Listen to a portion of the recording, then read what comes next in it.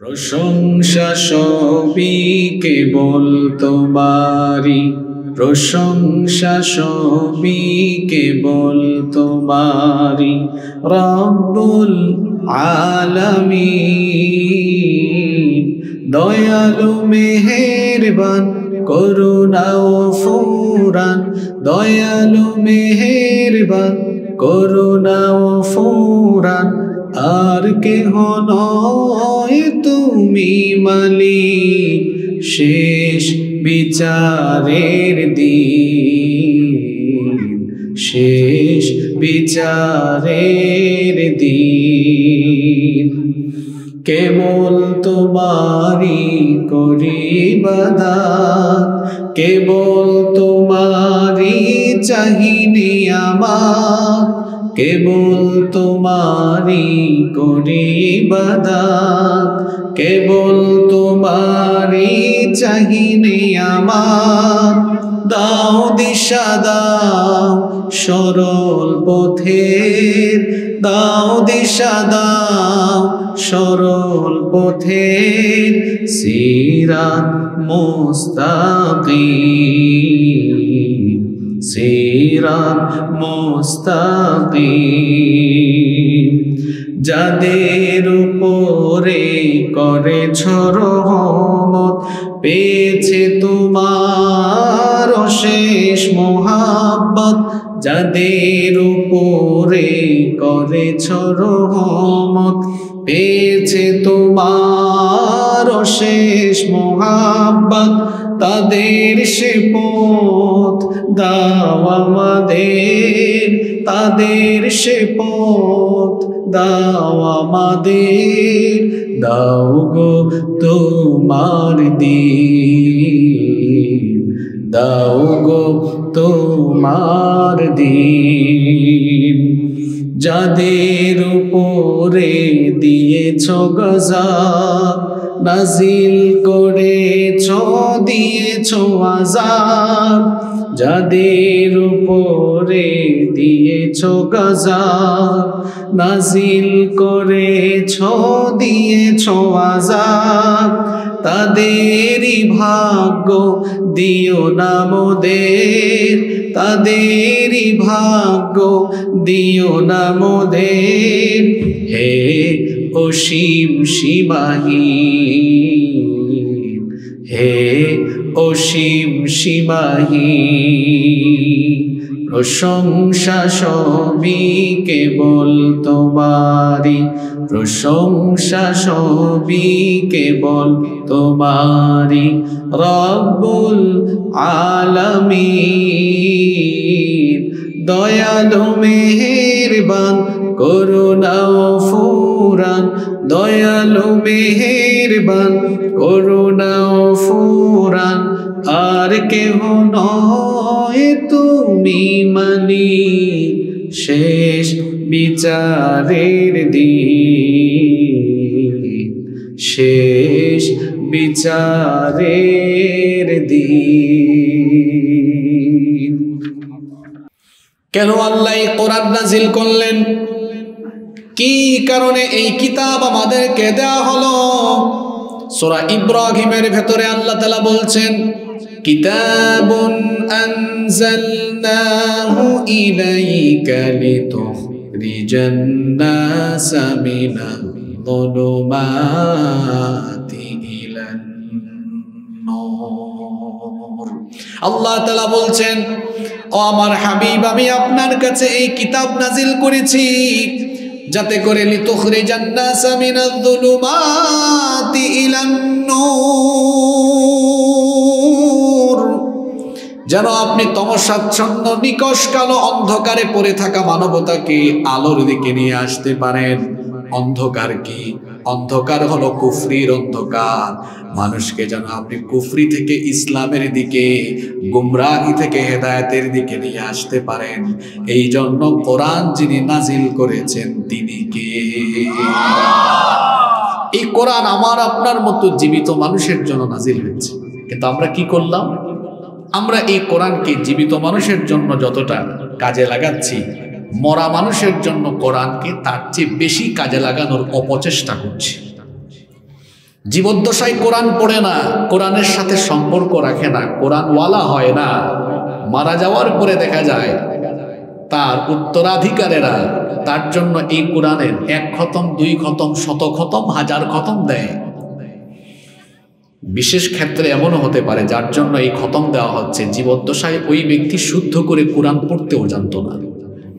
যার জন্য কোরআনের খতম দেওয়া হচ্ছে। হয়তো এমনও হতে পারে, যতদিন জীবিত ছিল, ততদিন কোরআনওয়ালা আলেমুল আমাদেরকে দেখলেই মনে মনে মৌলবাদী, জঙ্গিবাদী বলে গালিগালাজ করার অভ্যাস তার ভিতরে ছিল।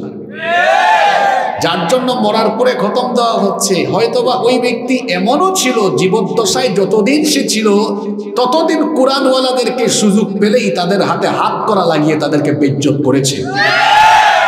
জীবদ্দশায় যতদিন সুযোগ পেয়েছে, কোরআনওয়ালাদেরকে নিপীড়ন করেছে, কোরআনের আন্দোলনের সাথে বেয়াদবি করেছে, কোরআনের আন্দোলনের কর্মীদের উপরে হিংস্র হায়নার মতো ঝাঁপিয়ে পড়েছে। মরার আগ মুহূর্ত পর্যন্ত যেই ব্যক্তির জীবন চলে গেল কোরআনের বিরোধিতায়, কোরআন বিরোধী ওই লোকটা মারা যাওয়ার পরে সাধারণ আলেমরা নয়, কাবা শরীফের ইমামরাও যদি তার জন্য কিয়ামত পর্যন্ত খতম দেয়, এই খতম কোরআন বিরোধী লোকটার কোনো উপকারে আসবে না। যতদিন জীবিত থাকলেন কোরআন আর কোরআন ওয়ালাদের সাথে বেয়াদবি করলেন। মরার পরে আপনি কোরআনের খতম দিয়া গোল মারবেন, এত সোজা। যতদিন জীবিত আছেন, ততদিন কোরআনকে আঁকড়ে ধরতে হবে। কোরআনওয়ালা হতে হবে। তাহলে দুনিয়াতেও সম্মানিত হবেন, আখিরাতেও আপনাকে নাজাদ দিবেন তিনি তিনি কে? সোরা ফাতিহাও আমরা বুঝি না। আমাদের বাচ্চারা ইংরেজি বই খুললে ইংরেজি পড়তে পারে। আমাদের বাচ্চারা শুদ্ধ বাংলায় কথা বলতে জানে।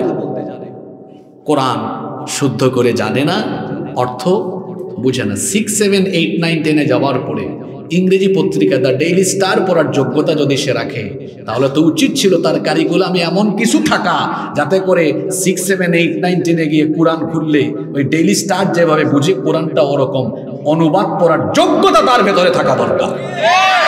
কারণ এটা নব্বই শতাংশ মুসলমানের দেশ, পারে না কেন? কারণ তার সিলেবাসে আছে, সারে গামা পাধানিসা আছে লীলাবালি লীলাবালি বড় যুবতী সৈগ বিয়ার সাজনী, কন্যা সাজন। আর আমরা সিলটিও হলো সৌভাগ্যবান, কারণ আমরার গানও তারা হারাইয়া দিলাইছেন ভিতরে আমি সিলেট আইলে মাঝে মাঝে তুরা এক দুই লাইন সিলটি মাত মাতি, কারণ মাসও তো দুই একদিনও সুযোগ পাওয়া যায়, আর নিজের এলাকার মানুষের সামনে আইলে বেশি সময় কন্ট্রোলের ভিতরেও থাকা যায় না। তুরা মাথা লাগে। এখন আমরা ওই যে বেটিনতে বিয়ার গীতুত গায়েন আইলারে নয়া দামান, আসমানের ওটাও এখন বই থামাই গেছে। স্কুলের বই তো আমাইছে, আলিয়া মাদ্রাসার বই তো। আমি কিতা মিশা মাত্রাম না কিতা? আপনি বই ওখানে তুলিয়া গা ফুরা দহকা আমরা কিতা, আমরা ফুয়া ফুরিন্তরে স্কুল মাদ্রাসাত ফাটাই, লীলাবালি হিকবাল লাগি, বিয়ার গীত হিকবাল লাগি, আর আলু ভর্তা ডাইল, আলু ভর্তা ডাইল আর ডিমবাজি কিলা খরা লাগে ওটা তার বাদে নাচানাচি, নাটক ফাটক ওটা হিকবাল লাগি আমরা আমরা বাচ্চান্তরে। আমরা কি প্রতিষ্ঠানও ফাটাই?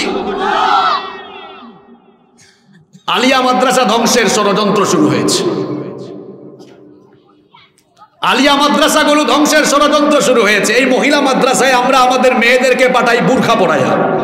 আপনি দেখেন মহিলা মাদ্রাসার দাখিল দশম শ্রেণি পর্যন্ত বইগুলো দেখেন। ব্যাপারটা নগ্ন, অর্ধনগ্ন ছবি দিয়ে তাদের বইগুলো ভরে দেওয়া হয়েছে। তাদের বইয়ের ভেতরে সারেগামা প্রধানিসা দেওয়া হয়েছে। আমাদের ধর্মীয় প্রতিষ্ঠানগুলোতে ধর্মহীন শিক্ষা ঢুকিয়ে দেওয়ার এত বড় সাহস কে তোমাদেরকে দিয়েছে? আমরা যখন মাদ্রাসায় পড়েছি, আমাদের বইগুলো আসতো বাংলাদেশ মাদ্রাসা শিক্ষা বোর্ড থেকে।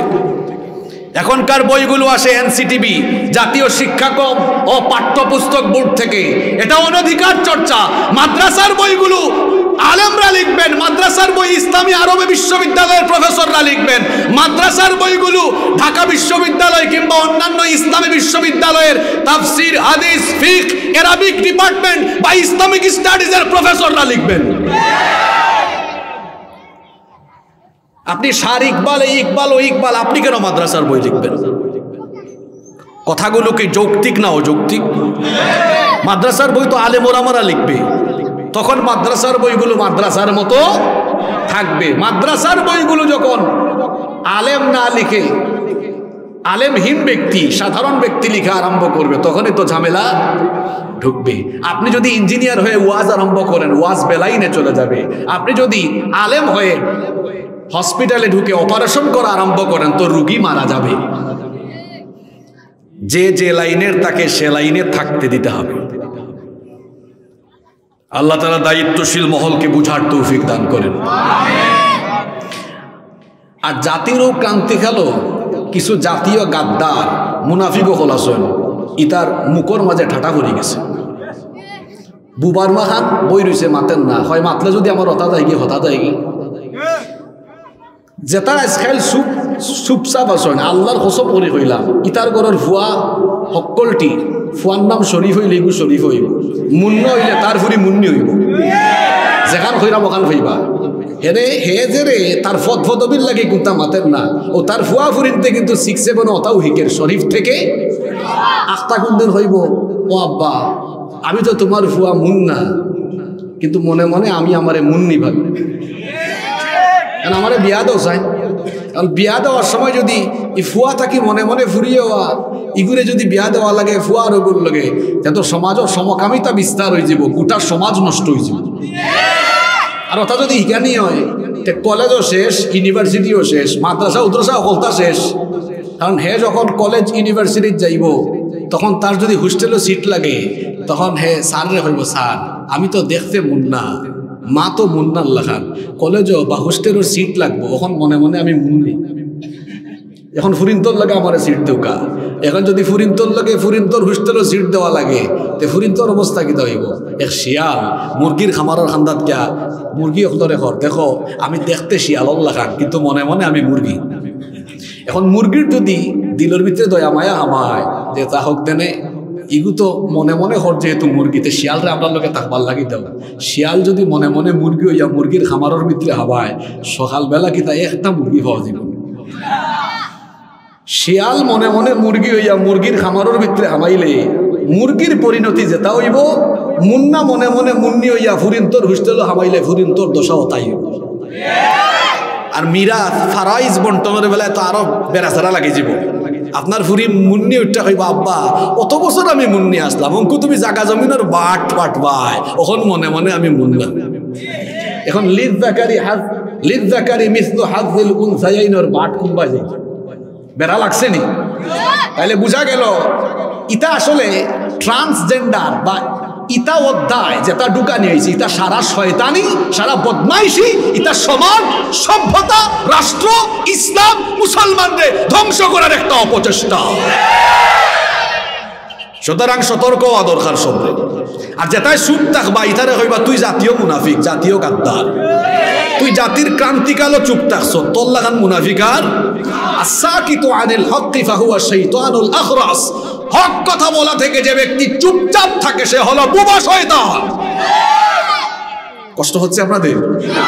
বলছিলাম, এমন একটি সূরা আমি তেলাওয়াত করেছি। সবার এই সোরাটা মুখস্থ আছে, সূরাতু আল ফাতিহা এই সোরা থেকে আমরা আজকে কিছু আলোচনা, শিক্ষণীয় এবং বাস্তব ভিত্তিক কিছু শিক্ষা নিয়ে বাড়িতে যাব বলেন কাসির, তবারি সকল করে দেখেছি। এই সোরাটির নাম আল ফাতিহা ছাড়াও আরও প্রায় চৌয়াল্লিশটার বেশি নাম আছে। এক সোরার এতগুলো নাম। ফাতিহা, আরবি শব্দ। আমরা যারা মাদ্রাসায় পড়তাম, প্রশ্নোত্তর লেখার সময় আমরা আমরা লিখতাম আল ইফতিতাহ আল মুকাদ্দামা আল ফাতিহা ওই যে ইন্ট্রোডাকশনের সিনোনেই অনেকগুলা তো ফাতিহা মানে হচ্ছে যা দিয়ে কোনো কিছুর সূচনা করা হয়, যা দিয়ে কোনো কিছুর উদ্বোধন করা হয়।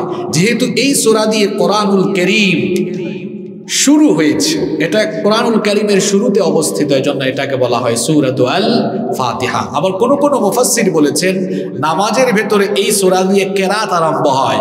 এজন্য এই সোরাকে বলা হয় সৌরাত আল ফাতিহা। আবার এই সোরার আরেকটা নাম হচ্ছে ফাতিহাতুল কোরআন, ফাতিহাতুল কিতাব। এই সোরার আরেকটা নাম হচ্ছে আসাবুল মাসানি নিত্য পাঠনীয় সপ্তবাক্য। এই সোরার সাতটি আয়াত সকল নামাজে পড়তে হবে, বাধ্যতামূলক। এই জন্য এই সোরার নাম হচ্ছে আসাবুল মাসানি রব্বুল আলামিন, এজন্য কোরআনুল করিমের পনেরো নম্বর সোরা, সূরাতুল হিজরের 87 নম্বর আয়াতের মধ্যে বললেন, ওয়ালাকাদ আতাইনাকা সাবআম মিনাল মাসানি والقرآن العظيم আর অবশ্যই আমি আপনাকে নিত্য পাঠনীয় সপ্ত বাক্য এবং কোরআনে আজিম দান করেছি তাহলে আমরা জানতে পারলাম সুরাত আল ফাতিহার আরেকটা নাম মাথানি এই সুরার একটি নাম হলো সৌরাতুর রুকিয়া রুকিয়া মানে হলো ঝাড়ফুঁক। এই সুরাটির নাম হলো সৌরাতুর রুকিয়া কারণ এই সুরা দিয়ে ঝাড়ফুক করলে অসুস্থতা যিনি ভালো করে দেন, গলার আওয়াজ বড় করে সবাই বলেন, তিনি কি? বুখারীর বর্ণনায় হাদিস বর্ণিত হয়েছে। হাদিস বর্ণনাকারী সাহাবী হচ্ছেন আবু সাঈদ আল খুদরি রাদিয়াল্লাহু আনহু তিনি বলছেন, আমরা এক সফরে বের হয়েছিলাম। এমন একটি এলাকায় আমরা অবতরণ করলাম। একজন দাসী এসে হঠাৎ করে চিৎকার করে করে ফরিয়াদ করল, আমাদের এলাকার পুত্রের নেতাকে সাপে কেটেছে। আমাদের এলাকায় এমন কেউ নাই যে ঝাড় ফুক জানে। তোমাদের মধ্যে কি কেউ আছে নাকি যে ঝাড় ফুক জানে? আবু সাইদ খুদ্রি রাজি আল্লাহ তখন বললেন, আমাদের মধ্য থেকে একজন তখন এগিয়ে গেল। ওই বাড়িতে গিয়ে সাপে কাটা ওই ব্যক্তিকে সে ঝাড় ফুক করল। সঙ্গে সঙ্গে আল্লাহ তাকে ভালো করে দিলেন। ওই ব্যক্তি ভালো হয়ে যাওয়ার পরে তিরিশটি ছাগি তাদেরকে হাদিয়া দিলেন। আল্লাহ আকবার। সাথে সাথে কিছু দুধও দিলেন আপ্যায়নের জন্য। এই ব্যক্তি ফিরে আসার পরে অন্যান্য সাহাবিরা বললেন, কি ব্যাপার? তুমি তাকে কি পরে ঝাড়ফুঁক করলা যে তার সাপে কাটার ওই রোগীটা ভালো হয়ে গেল? কি পরে ফু দিলা? তখন তিনি বললেন, আমি তো শুধু সোরা ফাতিহা পরে ফু দিয়েছি, ভালো করে দিয়েছেন কে? তারা তাদেরকে যখন তিরিশটি ছাগি দেওয়া হলো, এখন তারা সেগুলো খাবেন কিনা, নিবেন কিনা, যখন তারা দ্বিধাদ্বন্দ্বের মধ্যে পড়ে গেলেন। তারা তখন নবীজির কাছে গেলেন। নবীজিকে গিয়ে বললেন, ইয়া রসুল আল্লাহ সকলে আমার সঙ্গে পড়েন সাল্লাল্লাহু আলাইহি ওয়াসাল্লাম। এই হলো অবস্থা। সুরা ফাতিহা পরে ঝাড়ফুঁক করার কারণে ওই ব্যক্তিকে আল্লাহ ভালো করে দিয়েছেন। তিরিশটা ছাগি আমাদেরকে দিয়েছে। আপ্যায়নের জন্য অনেক দুধও দিয়েছে। সেগুলোকে আমরা গ্রহণ করব। নবীজি বললেন, অবশ্যই গ্রহণ করবা। এগুলো বন্টন করো। যদি কোনো ভাগ থাকে, এক ভাগ আমাকেও দিয়ে দিও। আপনারা মাঝে মাঝে আলেমদের কাছে যান না, পানি পড়া নিতে? ঝাড়ফুঁক নিতে। হুজুররা মনে মনে পড়ে আপনারা ভাবেন অনেক বড় হুজুর কি যে পড়েছে আল্লাহ জানে। আসলে পড়েছে সুরাতু আল। তাই বলে এখন মনে মনে নিজেকে হুজুর ভাবা আরম্ভ করেন না। তাহলে হুজুরের কাছে যাওয়ার কি দরকার? আমি পুরা ফু দিয়ে দেব হুজুর সুরা ফাতিহা বুঝেন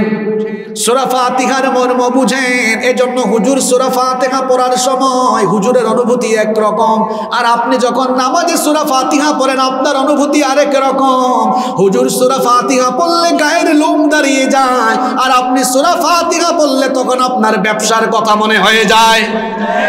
কারণ আপনি সুরা ফাতিহা বুঝেন না। সুরা ফাতিহা হচ্ছে আল্লাহর সাথে বান্দার কনভারসেশন বান্দা যখন নামাজে সুরা ফাতিহা আরম্ভ করে, সুরা ফাতিহার প্রত্যেকটা আয়াতের জবাব যিনি দান করেন, জুড়ে বলেন, তিনি কে?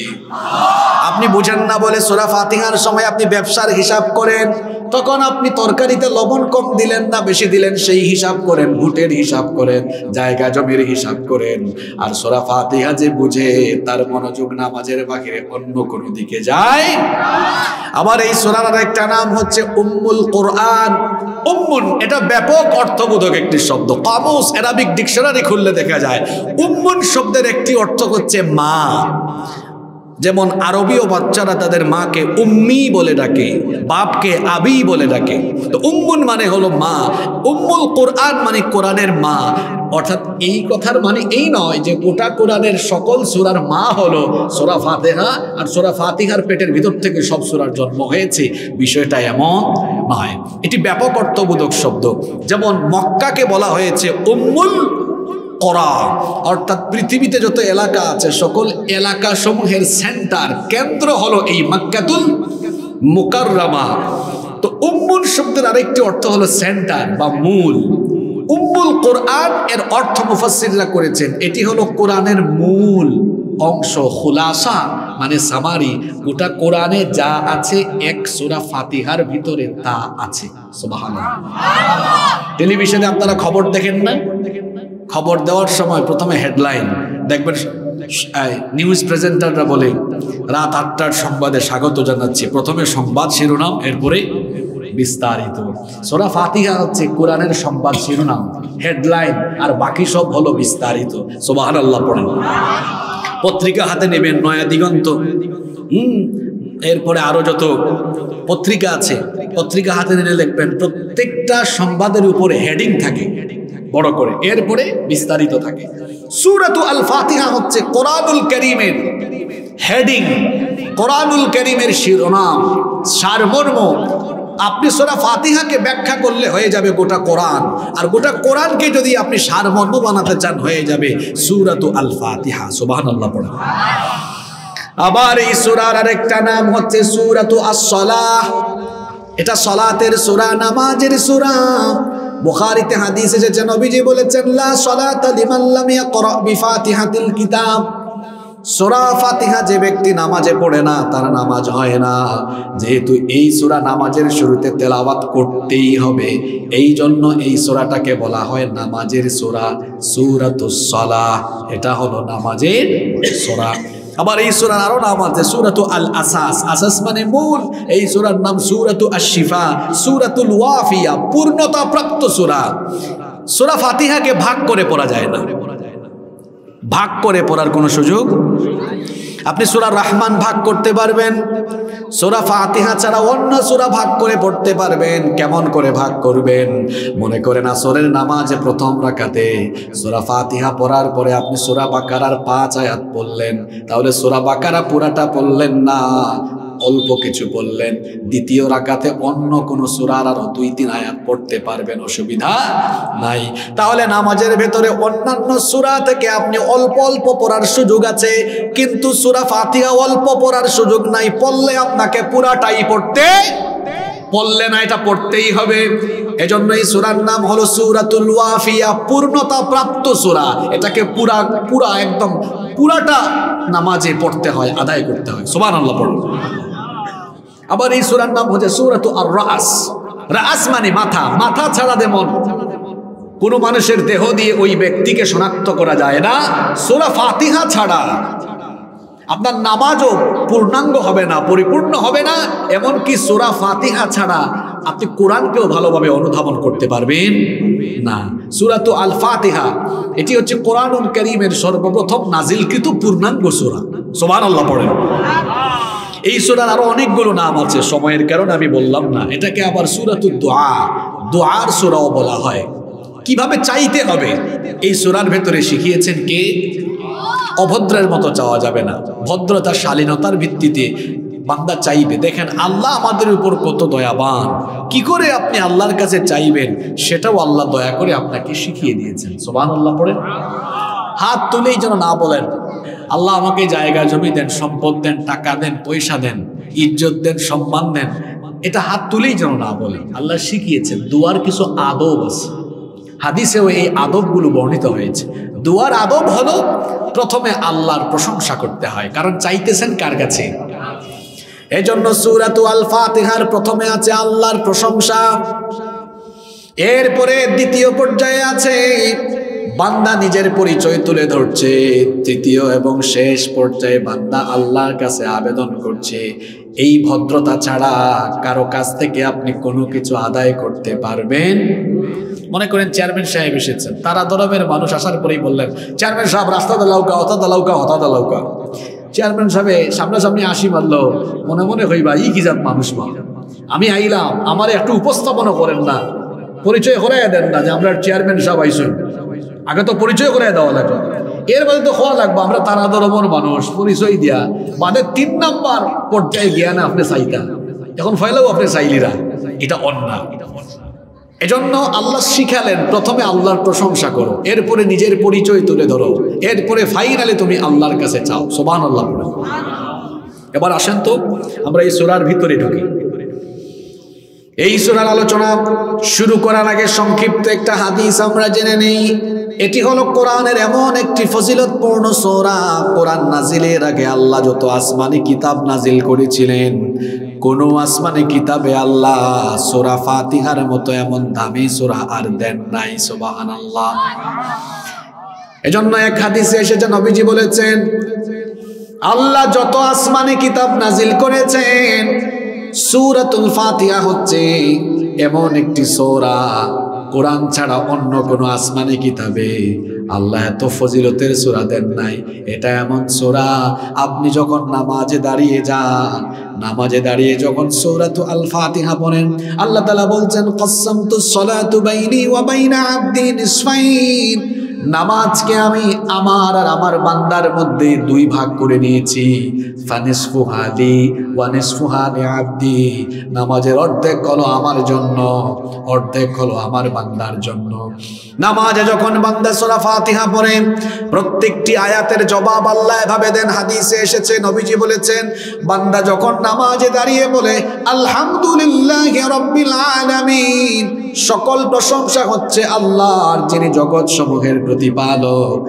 বান্দা যখন আল্লাহর প্রশংসা করে সোরা ফাতিহার প্রথম আয়াত পড়ে, আল্লাহ চুপ থাকেন না, সঙ্গে সঙ্গে জবাব দেন হামিদানি আব্দি আমার বান্দা নামাজে দাঁড়িয়ে আমার প্রশংসা করল। এরপরে বান্দা যখন বলে আর রহমানির রহিম তুমি পরম করুণাময় মেহেরবান। আল্লাহ তখন জবাব দেন, আসনা আলাইয়া আব্দি, আমার বান্দা আমার গুণ কীর্তন করল। এরপরে যখন আপনি বলেন, মালিক ইয়াউমিদ্দিন তিনি বিচার দিবসের মালিক, আল্লাহ তখন জবাব দেন, মাজ্জাদানি আব্দি, আমার বান্দা আমার শ্রেষ্ঠত্ব বর্ণনা করল। এরপরে যখন আপনি বলেন ইয়া কেন আবুদু ইয়া কেন আমরা একমাত্র তোমার ইবাদত করি এবং তোমার কাছেই সাহায্য চাই। আল্লাহ তখন বলেন, হাদা বাইনি ওয়া বাইনা আব্দি। এটা হলো তোমার আর আমার মাঝের সম্পর্ক। আমি তোমার মালিক, তুমি আমার গোলাম। এটা হলো তোমার আর আমার মাঝে সম্পর্ক। আল্লাহু আকবার।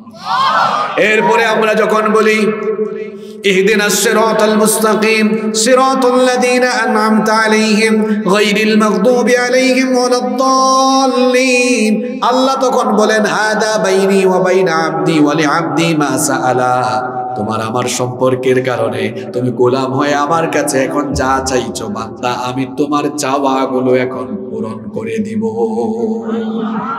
সোরা ফাতিহার মাধ্যমে আল্লাহ আমাদের সাথে কথা বলেন। আমরা এটা বুঝি না, উপলব্ধি করতে পারি না বলে নামাজের ভেতরে আমরা মজা পাই না, নামাজের ভেতরে আমরা আনন্দ পাই না। যদি আমরা বুঝতাম, তাহলে নামাজের ভেতরে আমাদের মজা লাগতো, ইবাদতের ভেতরে আমরা স্বাদ পেতাম। আসুন এই সোরা আমরা শুরু করি। প্রথম আয়াতে আল্লাহ বলছেন, কেউ চুপ থাকবেন না, সকলে জবান খুলে দিয়ে সওয়াবের নিয়তে আমার সঙ্গে তিলাওয়াত করেন। আল্লাহ তালা প্রথম আয়াতে বললেন, আলহামদুলিল্লাহ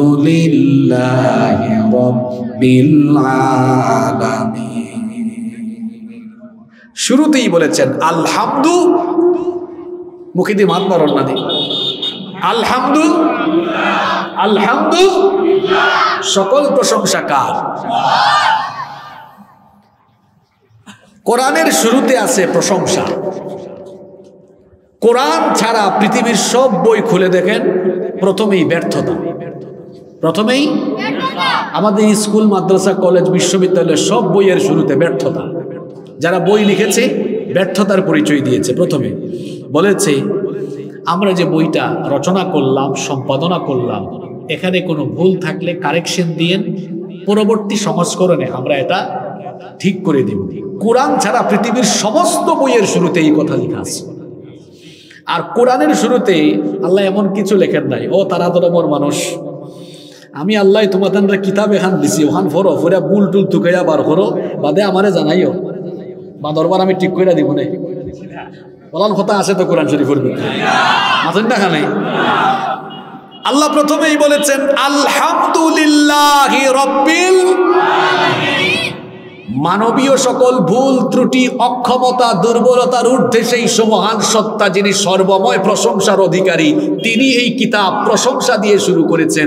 এরপরেই আল্লাহ বলেছেন, দালিকাল কিতাবুলা এমন কিতাব সন্দেহ করার মতো কিছুই এখানে নাই। আল্লাহু আকবার। অথেন্টিক নির্ভেজাল ফ্রেশ একটি কিতাব। কিতাবের নাম হলো আর একটু জোরে বলেন। এই কিতাব শুরু হয়েছে আল্লাহ প্রশংসা দিয়ে। আর আমাদেরকে শেখানো হয়েছে, এই যে কোরআন দিয়েছি, কোরআন হাতে নিয়ে প্রথমে প্রশংসা করো। কোরআন খুলেই প্রশংসা করো। কোরআন পেয়ে প্রশংসা করো। কারণ এই কোরআন হলো আল্লাহর দেওয়া সবচাইতে শ্রেষ্ঠ নিয়ামত। আল্লাহ যদি কোরআন না দিতেন, তাহলে আমরা হেদায়েতের পথ, সঠিক পথ, ভালো ভালো পথ, জান্নাতের পথ আমরা কখনো পেতাম না। এজন্য আল্লাহ কোরআন নাজিল করে আমাদেরকে সঠিক পথ দেখিয়েছেন। আল্লাহ জন্য বলছেন, প্রথমেই তুমি আল্লাহর প্রশংসা করো। সুবাহান আল্লাহ পড়েন। আমরা আল্লাহর প্রশংসা করব কেন? আল্লাহর প্রশংসা আমরা করব দুইটা কারণে। জোরে বলেন তো কয়টা কারণে? দুইটা কারণে আপনি আল্লাহর প্রশংসা করবেন। নাম্বার ওয়ান এক নাম্বার হলো, তিনি হচ্ছেন সকল গুণ এবং শ্রেষ্ঠত্বের অধিকারী। দুনিয়াতে যা আছে, যা দেখি আর যা দেখি না সব কিছুকে এত সুন্দর করে যিনি বানিয়েছেন, জোরে বলেন তো তিনি কি? এজন্য সৃষ্টির প্রশংসা হয় না। প্রশংসা হয় স্রষ্টা। আমরা মাঝে মাঝে আল্লাহর সুন্দর সৃষ্টি দেখে সেগুলোর প্রশংসা করি। যেমন আমরা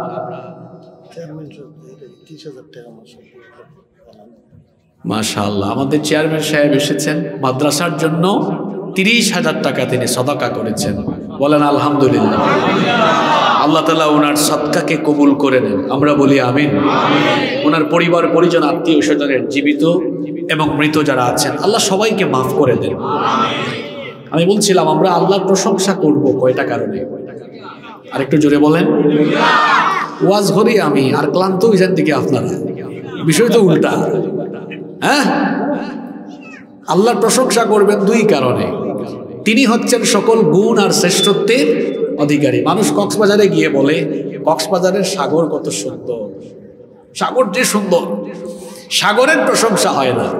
প্রশংসা হয় সাগর যিনি বানিয়েছেন। তিনি কে? এজন্য বেইমান বেইমান হল কক্সবাজার ওয়াও ফ্যান্টাস্টিক অ্যামেজিং এটা হইছে বে বেঈমান হলর জবান থেকে বার হয়। আর ইমানদারর জবান থেকে কক্সবাজার সাগরের ভরে কেউ বার হয়। মাশা আল্লাহ সুবহানাল্লাহ! আলহামদু প্রশংসা করে কার? হে জানে, সাগরের প্রশংসা হয় না, সাগরের মালিকর কিতা, ওয়াও হরা আছেন না নি নাইলা দুনিয়াত নাই। মৌলিবাজারের চা বাগান আইয়া চা বাগান তো তার জীবনে কোনোদিন দেখছে না। চা বাগানের ভিতরে হামাইয়া আর ফেসবুক এখন তো সপ্তাহ লাইভ আর অঙ্ক নয়া নয়া ফিটনা করা হয়েছে অতদিন আছিল ট্রাভেল ব্লগ ফুড ব্লগ অঙ্ক আইছে কাপল ব্লগ এটা চাচাও হলে এটা ওয়াজ বুঝতে নাই। এটা জোয়ান ফানতে বুঝলছে ঠিক আছে নি কথা? কাপল ব্লগর সোজা বাংলা হইল বউ বেচ্চা, ব্যবসা করা বউর সেরা বিক্রি করিয়া টেকা কামানি। ঠিক আছে নি কথা? যেটাই ফয়সাল লাগে তার বউ বেছিলাই এল্লাখান রুচিহীন, বেহায়া, ব্যক্তিত্বহীন পুরুষ। আল্লাহ আসমানের নিচে জমিনের উপরে আর হইতে পারে না। আল্লাহ ইতারে হেদায়াত দোকান হেদায়াত সফল না থাকলে আল্লাহ যা ইচ্ছে আল্লাহ তা করবে কষ্ট যান আপনারা? দুই নম্বরে আপনি আল্লাহর প্রশংসা করবেন। তিনি আপনার উপরে অগণিত নিয়ামত বর্ষণ করেছেন, যা আপনি গুনে গুনে শেষ করতে পারবেন। এজন্য আল্লাহ বলেছেন ওয়া ইন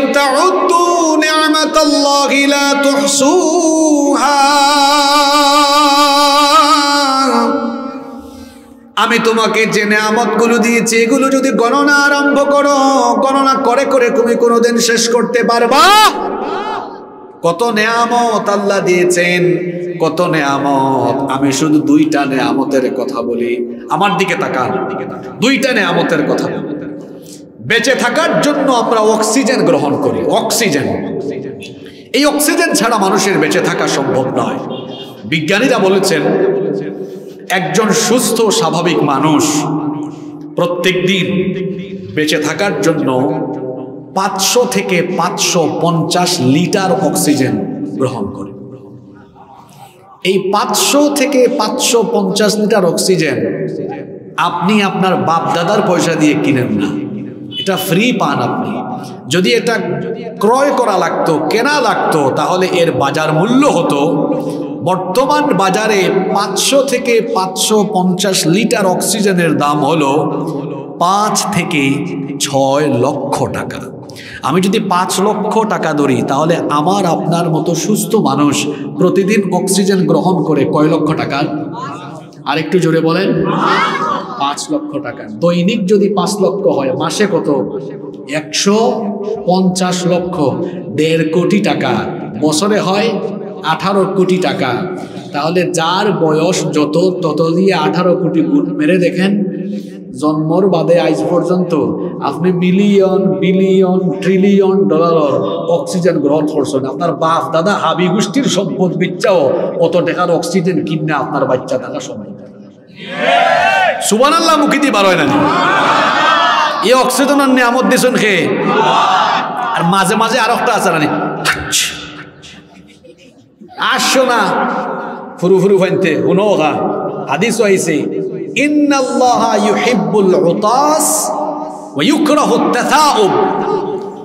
আল্লাহ হাঁচি পছন্দ করেন আর হাই তুলারে অপছন্দ হল আমরা আর সব মানুষের বাফর নাম আদম আলাই ইসালাম আদম আলাই ইসাল্লাম রে আল্লাহ বানাইয়া যখন তানোর ভিতরে রুহ ঢুকাই দিছেন ঢুকাইয়া দেওয়ার বাদেও মারছেন হাসিয়া। মাইরা লগে লগে তোমার জবান থাকি বার হয়েছে আলহামদু তাই খেনে আলহামদুলিল্লাহ কইসেন ও গত শতাব্দীত বিজ্ঞানী হলে কষ্ট কইরা ওখান বাহরছেন ওখানের তফসির যারা বালা করে বুঝছেন এখন যে আলহামদুলিল্লাহ এখানে খেনে হয়েছে। আদম আলাহ ইসলাম রে আল্লাহ বানাইছেন, এটার ছয়টা পর্যায় আছে আল বিদায়া ওয়ান নিহায়া এবং অন্যান্য তাফসির গ্রন্থর মাঝে এটা কাহিনীগুলো আইছে। আল্লাহ তাদের ছয়টা ক্যাটাগরি দিয়ে বানাইছেন। পয়লা ফেরেস্তারে ফাটাইয়া দুনিয়ার সব কালার ওর মাটি নেওয়াইছেন এর লাগে আদমর ফুয়া ফুরেন, খেউ লাম্বা, খেউ বাট্টি খেউ খালা, খেউ দোলা, খেউ শ্যামলা, ই অত জাতর খেনে কারণ আল্লাহ সকল জাতর মাটি দিয়ে আদম আলাহ সাল্লাম রে বানাইছেন, এর লাগে তান গরর ফুয়া ফুরেন সন্তানা দিয়ে এশগু এশ কালার হয়েছেন কথা বুঝছেন নি? ছয় ক্যাটাগরিতে আল্লাহ বানাইছেন। ওসান্তর উপরে ফানি ডাইল্লা বৃষ্টি দিয়ে আল্লাহ কাদা মাটি বানাইছেন এটেল মাটি বানাইছেন। বাদে এর উপরে আকৃতি এর বাদে ঠনঠনে মাটিতে আল্লাহ পরিণত করছেন। খলাকল ইনসান আমিন সলসালিন কাল ফাখার ঠনঠনে মাটি থেকে আল্লাহ আদমকে বানিয়েছেন। এরপরে সেখানে রুহ ঢুকিয়ে দিয়েছেন। রুহ দেওয়ার পরে তিনি হাঁচি দিয়েছেন। এই হাঁচি দেওয়ার মাধ্যমে তাকে বানানো বানানোর সময় তার ভেতরে যে ময়লা ঢুকেছিল, সেই ময়লাগুলো আল্লাহ বের করে দিয়েছে। সোমান আল্লাহ পড়ে অর্থাৎ বিজ্ঞানী হলেও এখন প্রমাণ করছে আমরা হলে আসি, দিই না নেই। কোন সময় বেশি আসি, আয় দেখবা ফাঁক কুটার যখন রান্না করো যখন উন্দালো যখন, বেটিনতে কোনটা জাজ কোনটা রান্ধা হয় ওটা না খেদি হামাইলে লগে লগে আসি আমরা। না খেদি কোনটা হামাইলে বিড়বিড়ি বিড়বিড়ি করে। ঠিক আছে নি কথা? হাঁচি এটা না দিলে আপনার সমস্ত সম্পদ বেচা লাগল অনেক খালি বাঁচবার লাগে। যদি হাঁচি আল্লাহ না দিতা, সারা সম্পদ বেচা লাগল অনেক বাচ্চা দেখার লাগে। কেনে? বলা করে হনুকা। বিজ্ঞানী হলে গবেষণা করিয়া কইছেন মানুষে যখন আসি মারেন, হাঁচি দেওয়ার সময় তারা নাকের ভিতরে দিয়ে একশো ষাট মাইল বেগে বাতাস পাবে কত মাইল বেগে? ইনো বাক্কা মোটর সাইকেল দেখলাম, মাতুকা মোটর সাইকেল চালাওরা বাই অকল, গতি কত? চল্লিশ বা ষাট, আর এই যে রাস্তা, পঞ্চাশ ষাটের উপরে উঠাইলে খবর আছে। আর না খেয়ে দিয়ে আশির সময় বাতাস বাড়ায় কত মাইল বেগে? মাতুন না কেন আপনারা? একশো ষাট মাইল বেগে। বিজ্ঞানী হলে গবেষণা কইরা কইরা একটা হাঁচির লগে মাংসর পাকস্থলী আর ভিতরে যে জীবাণু আছে, এক হাঁচির লগে তিন থাকি ছয় হাজার রকমের জীবাণু বার হয়ে যায়। যে পরিবেশও আমরা বাস করি এই পরিবেশ? ফোসা, দুলা, বালু, জীবাণু, ব্যাকটেরিয়া, যার মোর নাই।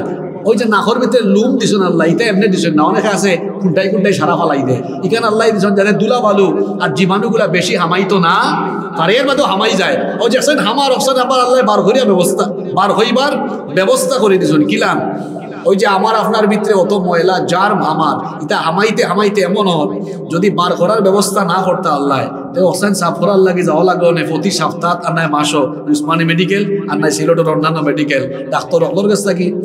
ও বার হইলে প্রতি সপ্তাহ বা মাসও হাজার হাজার টাকা দেওয়া লাগল খালি সারা বছর আপনার আর আপনার পরিবারের ও ময়লা অক্সাইন বার করবার লাগে কোটি কোটি টাকা নষ্ট হইল নে। শেষ হয়ে গেল সকল জায়গা সম্পদ। আল্লাহ হইরা তোমার জায়গা সম্পদ বেচবার কোনো দরকারও নাই। টেনশন করার দরকার নাই যে তা হামাইব। আমি আল্লাহ হাঁচির ব্যবস্থা করে দিছে। তুমি এক হাসি মারবাই। তিন তাকি ছয় হাজার রকমের? জীবাণু এক হাসির মাধ্যমে একশো ষাট মাইল বেগে বাতাসে আমি আল্লাহ বার করে এলাকি তো আদম আলাইসাল্লামে হাসি দেয়া হয়েছেন আলহামদু কেনে হয়েছেন এখন বুঝছেন নি বিজ্ঞানী হলো ওইখান। আবিষ্কার করছেন। তো ইসলাম আল্লাহর প্রশংসা আপনি কেন করবেন? কারণ নিয়ামত আর নিয়ামত দিয়ে আল্লাহ আপনাকে বাঁচিয়ে রেখেছেন। আর এই নিয়ামত একটা দুইটা নয়। আল্লাহ বলেছেন লা তুহসুহা, গুনে গুনে তুমি এই নিয়ামত শেষ করতে পারবে না। আল্লাহু আকবার। এজন্য আল্লাহ মানুষকে শিখিয়েছেন, তুমি আল্লাহর কাছে চাওয়ার সময় শুরুতে প্রশংসা করো। কোরআন আল্লাহ দিয়েছেন যেন আপনি কোরআন পড়ে আল্লাহর প্রশংসা করেন। কারণ কোরআন আল্লাহ না দিলে আপনি কখনো হেদায়েতের পথ, আপনি কখনো জান্নাতের পথে পরিচালিত হতে পারতেন। আজকের ওয়াজও মনে হয় সকিনা বেশি নাজিল হয়ে যান তান্ডে ওরা দলাউকা উফরে দলাউকা খেয়াল তখন জানো আপনার খেয়াল আছে নেই না, নাই। খেয়াল আছে নেই এজন্য আল্লাহ বললেন, প্রশংসা করো, আল্লাহ শিখালেন পরেন আমার সঙ্গে, আলহামদুলিল্লাহ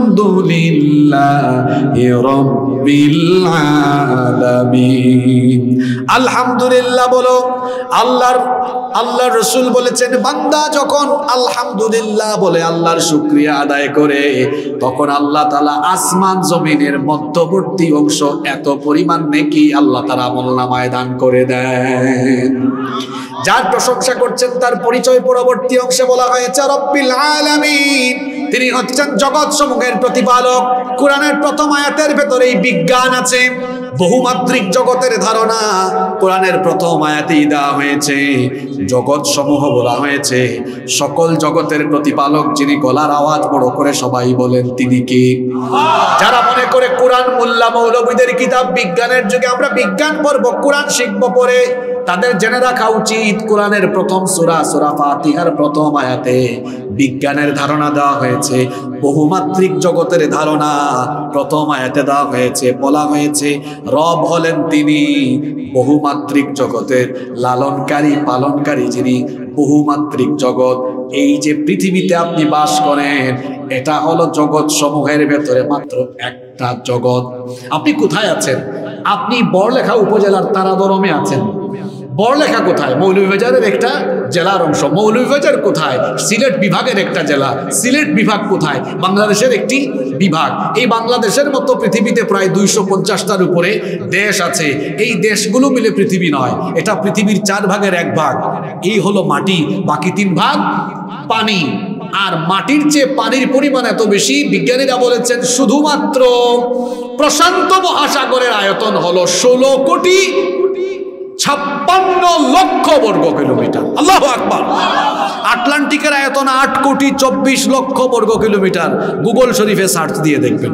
উইকিপিডিয়াতে সকল তথ্য আছে। এই বিশাল পৃথিবী, এটাই জগৎ নয়। এটা হলো আমাদের সৌরজগতের একটা ক্ষুদ্রতম অংশ। পৃথিবী হচ্ছে সৌরজগতেরই একটা গ্রহ। পৃথিবীর বাহিরেও আরও প্রায় আট নয়টা উপগ্রহ আছে। আপনারা শিখছেন না ছোটবেলায়? শনি, বুধ, মঙ্গল, বৃহস্পতি, ইউরেনাস, নেপচন শিখেছেন না? সব হলো এই সৌরজগতের ভিতরে। একটা সৌরজগৎ নয়। লক্ষ লক্ষ গ্যালাক্সির ভেতরে আছে লক্ষ লক্ষ কোটি কোটি সৌরজগৎ। সৌরজগতের বাহিরে পানি জগৎ, উদ্ভিদ জগৎ, মরু জগৎ, অরণ্য জগৎ, পশু জগৎ, নাম না জানা আরও সকল জগৎ। সকল জগতের রব হলেন একজন। জোরে বলেন তিনি কি? সময়ের অভাবে সব বলা যাবে না। বলছিলাম, কোরআনের প্রথম সুরার প্রথম আয়াতে কোরআন উল্টালেই বিজ্ঞান খুঁজে পাবে না। শুধু রব্বিল আলামিন নিয়ে গবেষণা করলে বেঈমান ইমান আনতে বাধ্য। কত বড় কথা বলা হয়েছে। রব্বিল আলামিন। সাগরের মাছ এটা আরেক জগৎ সেখানে কেউ মাছকে খাবার দেয় না তারে খাওয়ায় কে? আফ্রিকার জঙ্গলে অনেক প্রাণী আছে এদেরকে আমরা খাওয়াই না খাওয়ায় কে? সুন্দরবনের এত প্রাণীকে খাওয়ায় কে? আকাশের মধ্যে যে পাখি উড়ে এদেরকে আমরা খাওয়াই না খাওয়ান কে? এই যে দেখেন, শীতের দিন গেল, আমরা কত ভারী ভারী পোশাক পরলাম, কিন্তু পশুদের কোনো পোশাক লাগে না। কারণ তাদের গায়ের চামড়ার মধ্যেই অনেক পশু আছে, দেখবেন, ভারী ভারী চামড়া, লোম দিয়ে আল্লাহ তার চিরস্থায়ী পোশাক দিয়ে দিয়েছেন। এরকম করে সকল জগৎগুলোকে, যেরকম করে যে জগৎটাকে সাজানো দরকার, পরিচালনা করা দরকার, সেগুলোকে যিনি সুন্দর করে নিয়ন্ত্রণ করছেন, তিনি কে? এরপরে আল্লাহর পরিচয় পরে রায়তে দেওয়া হলো আর রহমানের রহিম। তিনি হচ্ছেন দয়াবান, তিনি হচ্ছেন আমার আল্লাহর দয়া হলো এত বেশি। আমার আল্লাহ এই দুনিয়াতে খাওয়ান খাওয়ান। আজকে যে সূর্যের আলো সূর্যের আলো দেখা গেল, এই সূর্যের তাপ সূর্যের আলো, এটা ইমানদারের জন্য, বেঈমানের জন্য, সকলের জন্য। আল্লাহ দুনিয়াতে আল্লাহ দুনিয়াতে হলেন রহমান, কিন্তু আখিরাতে আল্লাহ হয়ে যাবেন রহিম। এজন্য আল্লাহ কোরআনের অন্য সূরায় বলেছেন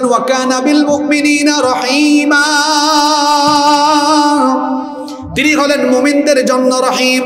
কেয়ামতের দিন শুধুমাত্র ইমানদারদের উপরে তিনি দয়া করবেন। এরপরে তৃতীয় আয়াতে আল্লাহ বললেন, মালিক ইয়ৌমিদ্দিন তিনি হলেন বিচার দিবসের মালিক এই দুনিয়া এবং গোটা সৃষ্টি জগৎ একদিন ধ্বংস হয়ে যাবে। কুল্লু মান আলাইহা ফান ওয়ায়াবকা ওয়াজহু রাব্বিকা যুল জালাল। والإكرام. সবকিছু একদিন ফান হয়ে যাবে, কেবলমাত্র তিনি থাকবেন। এরপরে যিনি বিচার দিবসের কর্তৃত্ব গ্রহণ করবেন, তিনি হচ্ছেন আল্লাহ। এজন্য আল্লাহ নয়াতে বলেছেন আল মুলকু ইয়াউমা ইদিনিল রহমান সেই দিন মালিকানা কর্তৃত্ব থাকবে কেবলমাত্র তার হাতে। অন্য সূরায় আল্লাহ বলেছেন, ইয়াউমা লা তামলিকু নাফসুন লিনাফসিন শাইআ ওয়াল আমরু ইয়াউমা ইদিন লিল্লাহ। সেদিন কর্তৃত্ব কারও হাতে থাকবে না, থাকবে একজনের হাতে। জুড়ে বলেন, তিনি কে? প্রথম তিন আয়াতে আল্লাহর পরিচয় দেওয়ার পরে এরপরে আল্লাহ বান্দাকে পরিচয় দিতে শিখিয়েছেন ইয়া কানা বধুয়া ইয়া কানাস্তাইন তুমি বলো, আমরা তোমার ইবাদত করি, তোমার কাছে সাহায্য চাই। আমরা ইবাদত করি কার? সাহায্য চাই কার কাছে? এরপরে আল্লাহ বললেন এরপরে আল্লাহ বললেন, এবার তোমার কি চাওয়া আছে? চাওয়ার কথা বলো, আমরা আল্লাহর কাছে এবার চাইলাম। ইহদিনাস সিরাতাল মুস্তাকিম। আমাদেরকে সুজা পথ দেখান। প্রশ্ন হলো, সুজা পথ কোনটা? পরের আয়াতে আল্লাহ বলে দিলেন, সিরাতাল লাযিনা আনআমতা আলাইহিম। যে পথে চলে তোমার বান্দারা নিয়ামত প্রাপ্ত হয়েছে। কোরআনের এক আয়াতের তাফসীর পাওয়া যায় অন্য আয়াতে। এখন নিয়ামত প্রাপ্ত বান্দা কারা? আল্লাহ অন্য জায়গায় বলেছেন, মিনান নাবিয়িনা ওয়াস সিদ্দিকিনা ওয়াস শুহাদাই ওয়াস সালিহিন নবীগণ, সিদ্দিকিন, সুহাদা এবং সালেহীন, এটা হলো নিয়ামত প্রাপ্তদের পথ। আমরা আল্লাহর কাছে চাইলাম, আল্লাহ আমাদেরকে নিয়ামত প্রাপ্তদের প্রতি পরিচালিত করেন। ওয়ালাদ-দাল্লিন তাদের পথে নয়, যারা তোমার ক্রোধে এবং যারা তোমার গজবে নিপতিত হয়েছে, পথভ্রষ্টদের পথে নয়। পথভ্রষ্ট গুমরা হয়েছে যারা, তাদের উপমা কোরআনে আছে, নমরুদ, ফেরাউন সহ পৃথিবীর বড় বড় কাফির, বেঈমান, মুনাফিকরা যে পথে চলে আল্লাহর গজবে। আল্লাহর আযাবে নিপতিত হয়েছে আল্লাহ তাদের পথে আমাদেরকে পরিচালিত করিয়েন না। আল্লাহর কাছে চাইলাম আল্লাহ সোজা পথে পরিচালিত করেন। সোজা পথে চলার জন্য আল্লাহ কিতাব দিয়েছেন। কিতাবের নাম হলো আল কোরআন কোরআন হচ্ছে আমাদের বাড়িতে আছে, এটা হলো প্রিন্টেড কোরআন, আর আমার নবী হলেন প্র্যাকটিক্যাল কোরআন। আপনি যদি নিয়ামত প্রাপ্তদের পথে পরিচালিত হতে চান, আপনাকে কোরআন বলা হতে হবে। এই কোরআন পড়ে, কোরআন বুঝে, কোরআনের রঙে যদি আমরা রঙিন হয়ে যেতে পারি, তাহলে আমাদেরকে সুজা পথের প্রতীক হিসাবে যিনি কবুল করে নেবেন তিনি কে? সময় সংক্ষিপ্ততার ধরুন শেষের আয়াতগুলো সংক্ষেপে আমি বলেছি, সোরা ফাতিহা আপনারা আরও বোঝার চেষ্টা করবেন। আর সোরা ফাতিহার মূল শিক্ষাটাই হলো সুজা পথে চলার জন্য আল্লাহর কাছে চেয়েছি আমরা, এই সুজা পথে চলতে হলে আপনাকে কোরআন ধরতে হবে। শুধু একদিন এসে ওয়াজ শুনলে আপনার দায়িত্ব শেষ হয়ে যাবে না। বরং এই কোরআনের রঙে রঙিন হয়ে দুনিয়া থেকে বিদায় নিতে পারলেই আপনার দুনিয়ার জীবন সফল আখিরাত সফল হয়ে যাবে। ইনশা আল্লাহ আল্লাহ আমাদেরকে এই সোজা পথে কোরআনের পথে কবুল করে নেন। আমরা সকলে বলি আমিন।